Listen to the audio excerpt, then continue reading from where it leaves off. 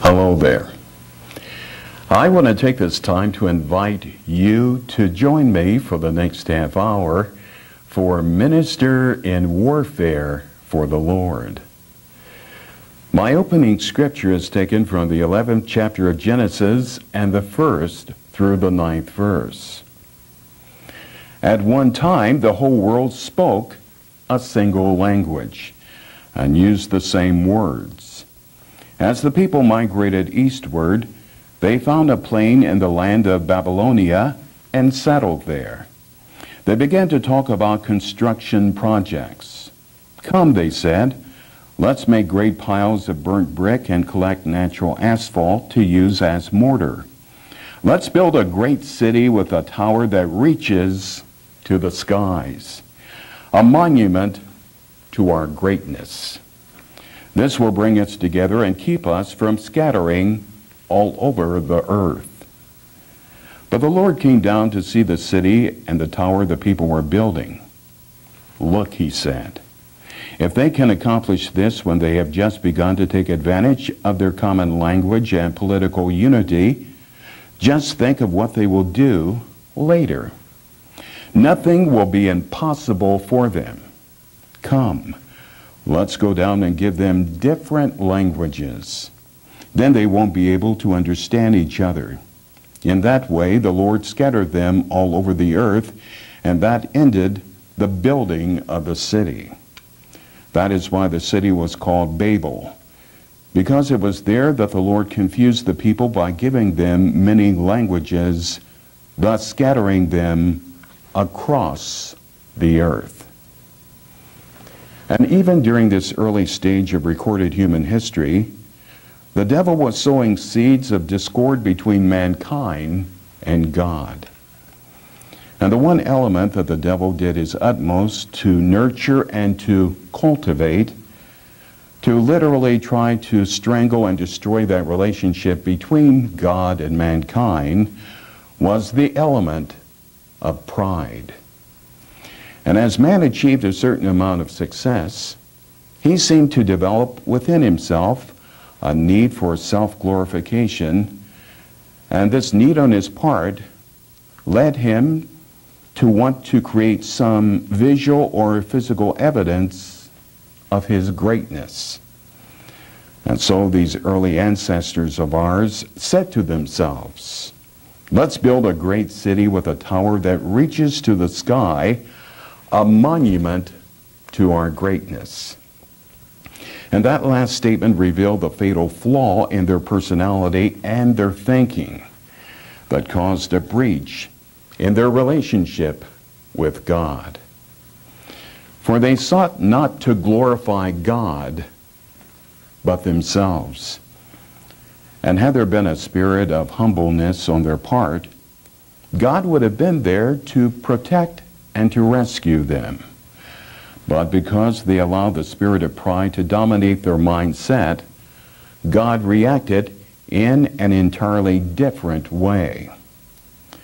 Just as in the laws of physics, for every action, there's a reaction. And this principle applies in the spiritual realm as well. If you do it God's way, He'll bless you. But if you disobey God's laws and commandments, you will pay the price for your transgression. For in 2 Samuel, the 22nd chapter and the 28th verse, it tells us, You rescue those who are humble, but your eyes are on the proud to humiliate them. And one of the wisest men who ever lived, King Solomon, tells us through his writings that there will be consequences you will pay for allowing pride to be the dominant force in your life. For in the 29th chapter of Proverbs in the 23rd verse, and the 16th chapter of Proverbs and the 18th verse, King Solomon tells us, pride ends in humiliation, while humility brings honor. But if pride supersedes humility, as the dominant force in your life, then there is even greater consequences to pay. For if pride continues to be a part of your life, then destruction is inevitable. For pride goeth before destruction, and a haughty spirit before a fall. And a life that is devoid of God's presence, protection, and instructions is like a ship without a rudder in a violent storm that's totally at the mercy of the elements and whose final fate will be that of destruction.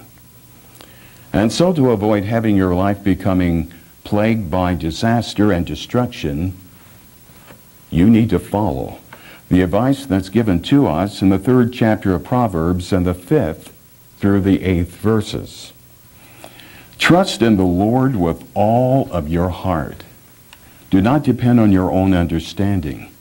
Seek his will in all that you do, and he will direct your paths. Don't be impressed with your own wisdom. Instead, fear the Lord and turn your back on evil. Then you will gain renewed health and vitality. Those were words of wisdom from King Solomon. But one whose wisdom far exceeds that of King Solomon echoes the same sentiments in the 29th chapter of Jeremiah and the 11th through the 14th verse. For I know the plans I have for you, says the Lord. They are plans for good and not for disaster, to give you a future and a hope. In those days when you pray, I will listen. If you look for me in earnest, you will find me when you seek me. I will be found by you, says the Lord. And God is saying to you, if you look for Him for direction, He will give you clear and concise instructions that will lead to your success. But if you choose to reject God's instructions, then you will be inflicted with a condition which is common unto man, and which is also the title of my sermon. Though you have eyes to see, and ears to hear, yet you lack understanding. You know, about a year ago, I stopped at Walmart where I purchased a radio cassette recorder that I was in need of. And after completing my shopping excursion, I went home where I proceeded to open the box that the radio was in.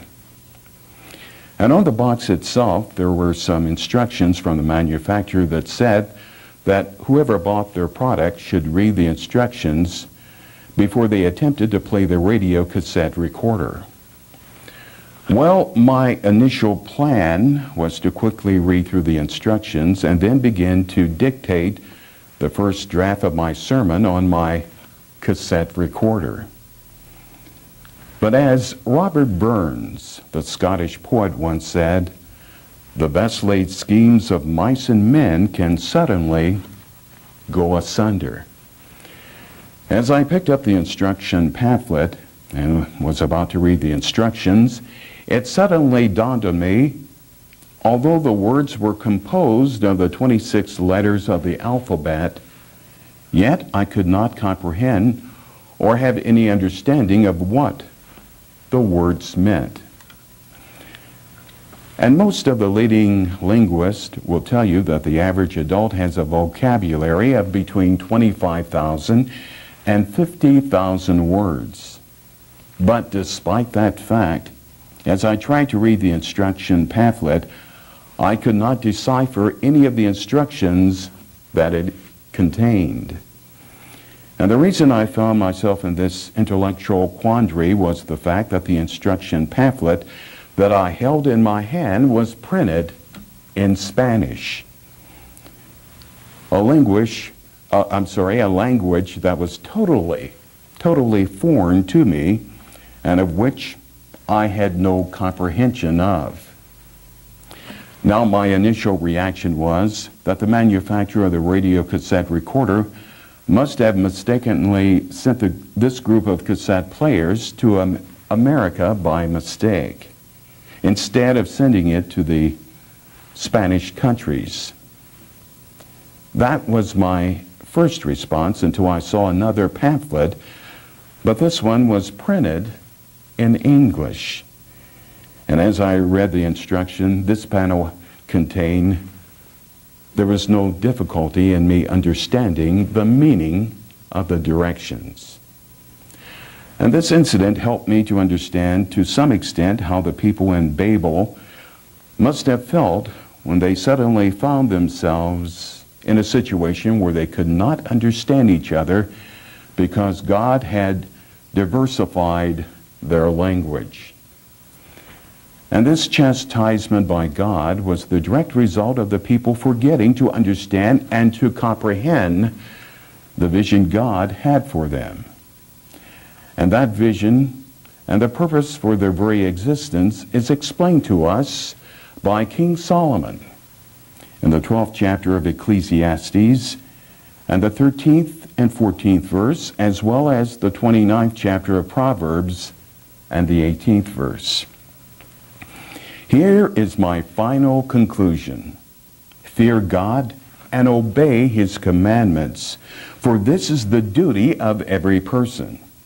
God will judge us for everything we do, including every secret thing, whether good or bad.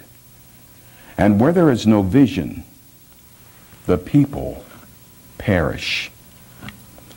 And doing it God's way instead of your own way is the key to pleasing God and causing an abundance of His blessings to flow into your life.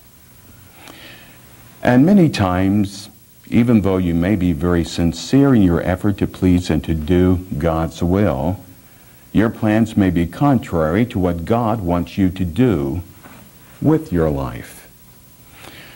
The key to doing what is pleasing in the sight of God and remaining in His divine will is to make your life Christ-like by emulating the lifestyle of Jesus Christ, the Son of God Himself.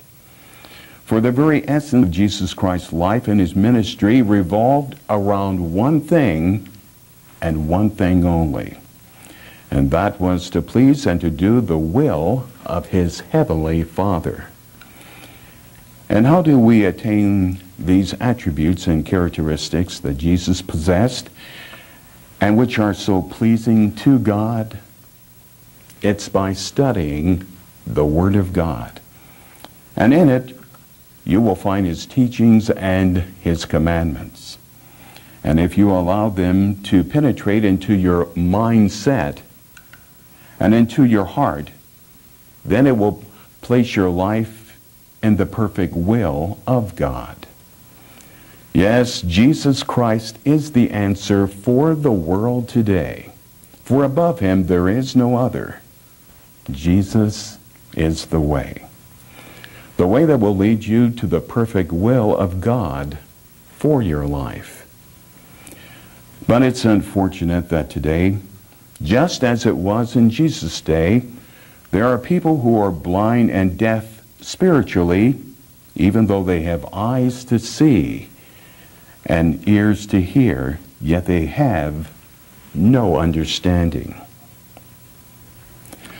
For their desire to promote their own agenda supersedes their desire to do the will of God. And this fact is made known to us by Jesus Christ himself and the 13th chapter of St. Matthew and the 13th through the 15th verse. That is why I tell these stories, because people see what I do, but they don't really see. They hear what I say, but they don't really hear, and they don't understand. This fulfills the prophecy of Isaiah, which says, You will hear my words, but you will not understand. You will see what I do, but